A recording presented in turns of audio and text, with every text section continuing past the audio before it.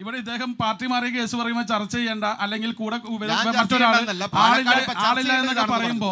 തല കറങ്ങി വീണ സോഡ മേടിച്ചു കൊടുക്കാൻ ആളില്ലാത്ത അനിൽ ആന്റണിയും അതുപോലെ സ്വന്തം ബി ജെ പിയിലേക്ക് പോയ പത്മജ ഗുണപാലിന്റെ ഫേസ്ബുക്കിന്റെ അഡ്മിനെ പോലും കൊണ്ട് കൂടെ പോകാൻ പറ്റാത്ത ആളുകളൊക്കെയാണ് ഇവരുടെ കയ്യിൽ പോയേക്കുന്നത്. എന്തായാലും കേരളത്തിലെ പൊതുസമൂഹത്തിന് ഒരു കാര്യം അറിയാം. സന്ദീപ് വാര്യർ എന്ന് പറഞ്ഞാൽ ബി ജെ പിയുടെ സ്പോക്ക് പേഴ്സൺ ആയിരുന്നു.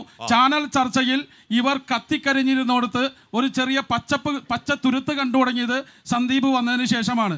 ആ സന്ദീപ് വെറുപ്പിന്റെ കമ്പോളത്തിൽ നിന്നും സ്നേഹത്തിന്റെ കടയിലേക്ക് വന്നേക്കാണ്.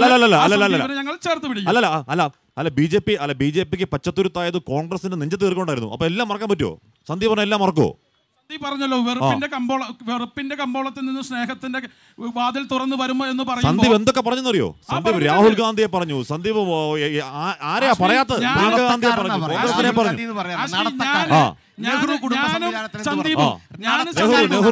ഞാൻ സന്ദീപും ഒരു ചർച്ചയിൽ വളരെ ഏറ്റുമുട്ടിയിട്ടുണ്ട്. ജ്യോതികുമാർ ചാമക്കലെ ഏറ്റുമുട്ടിയിട്ടുണ്ട്. അത് സ്വാഭാവികമാണ്. അദ്ദേഹത്തിന്റെ ഗോൾവാൾക്കറിന്റെ ബെഞ്ച് ഓഫ് തോട്ട്സും ആർ എസ് എസിന്റെ കഥയും കേട്ട് ആർ എസ് എസ് കാര്യാലയത്തിരിക്കുമ്പോ അതായിരിക്കും പറയുക. അത് വിട്ട് അതിൽ മനം നൊന്ത് അതിൽ പശ്ചാത്തലത്തേക്ക് പശ്ചാത്തലം. പുറത്തേക്ക് വരുമ്പോ. മനുഷ്യൻ പുതിയൊരു മനുഷ്യനാണ്. ഞങ്ങൾ സന്തോഷത്തോടു. ഞങ്ങൾ സന്തോഷത്തോടുകൂടി പട്ടിട്ട് നല്ല തളികയിൽ ചിരിച്ചുകൊണ്ട് തന്നിരിക്കുന്നു. എടുത്തുകൊള്ളുക. സ്നേഹം. വാരി വിതറിക്കൊള്ളുക.